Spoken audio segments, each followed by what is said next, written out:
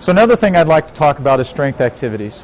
One thing we have to worry about during long duration space flight is muscle, at- muscle atrophy and our bones getting weaker. And so one of the things we focus on during space flight is strength conditioning. And we use that advanced resistive exercise device in order to do that.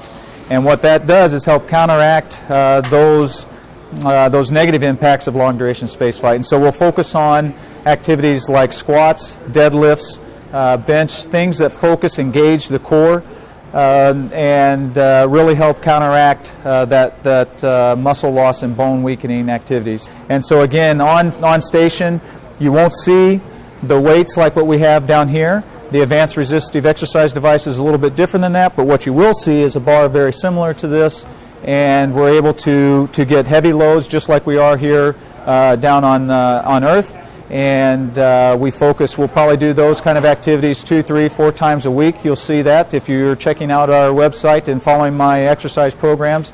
You're going to see a lot of uh, emphasis on squats, on deadlifts, and those types of activities.